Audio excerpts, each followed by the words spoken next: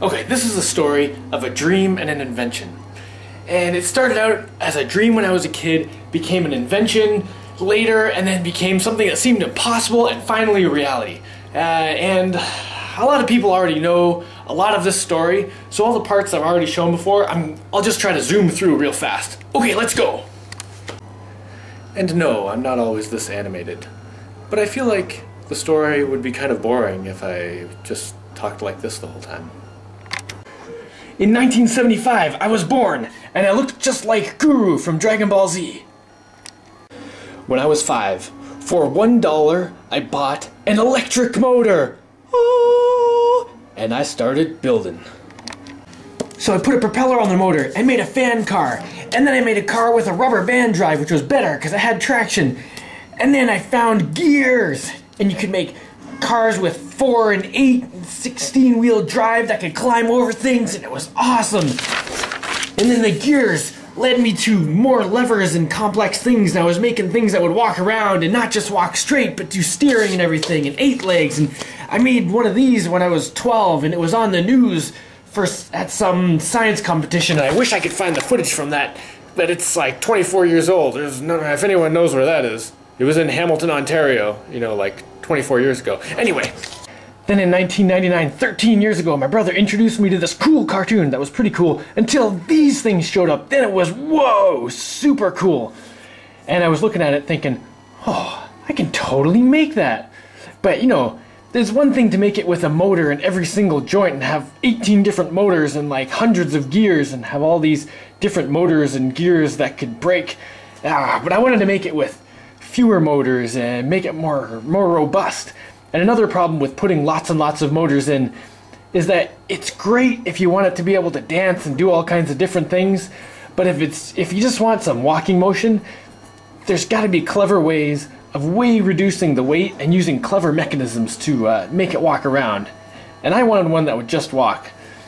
And one of the problems with motors everywhere is that at any one point in time, you'd maybe have a quarter of the motors working, and the rest of them would all be dead weight. But if you can put one motor in that would use some clever differential mega mechanisms to deliver the power to the legs that it needs, that need it, uh, then you wouldn't have to have all this dead weight. You just have a motor that is the the power needed to operate the thing. Plus, there's tricky little ways you can make it spring loaded so it hardly takes any power to move the thing. But that's a whole separate issue. Now, the way I wanted it to walk was I didn't want it to, to have to like steer the whole body around to walk somewhere. I wanted it to just be able to go this way and be able to go that way and be able to go that way because that's way cooler. And I thought if I made this top part just rotate and aim a certain direction, then it could uh, it could line stuff up in the in the middle and walk any direction just by rotating this top part.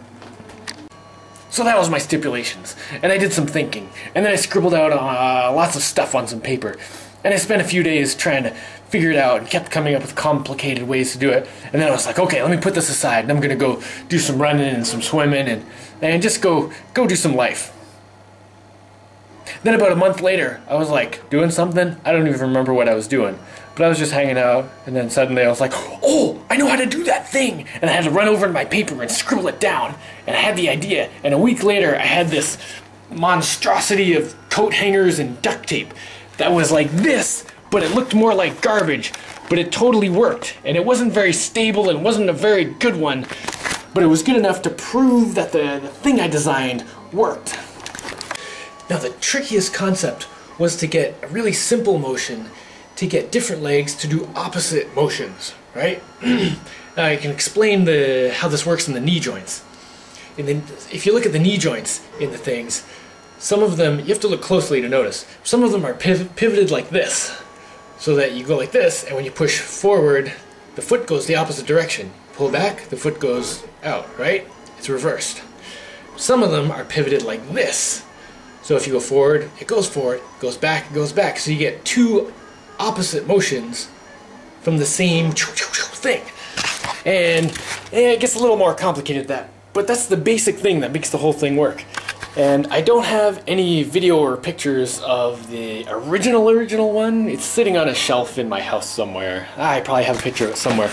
But I do have video of the one I made uh, about a month later.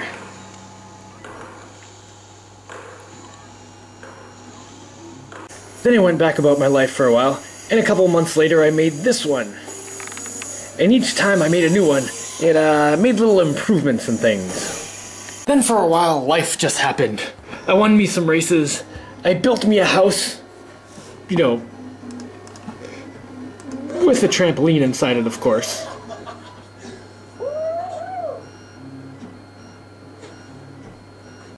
Then, sometime in early 2006, I made this. And if you click on here, it makes a video show up, but I'll just click on this one back here.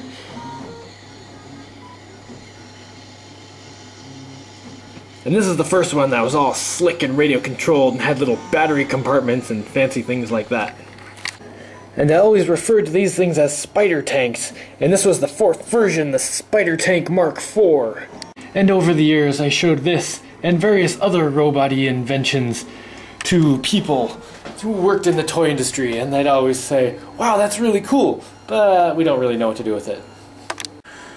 The word no gets tiring real quick.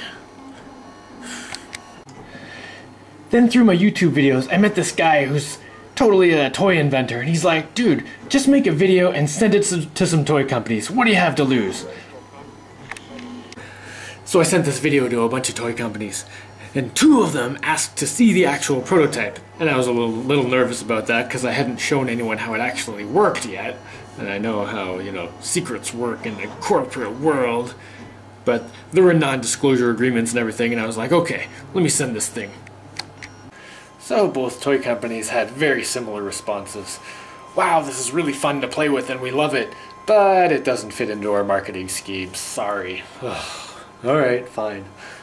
Now, I didn't find out this next part until a while later, but coincidentally, at this exact time, someone managed to develop the exact same thing I built over in China.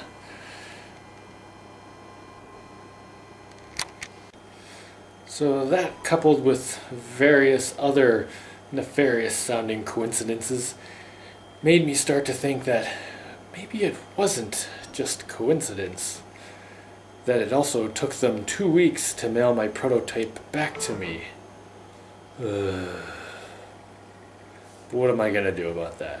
Even if I could prove some sort of nefariousness, I'm not going to spend half my life taking people to court and fighting them and all this blah blah blah.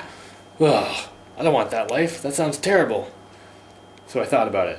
Well, at first I was just annoyed for a while. Like, really annoyed. Ugh.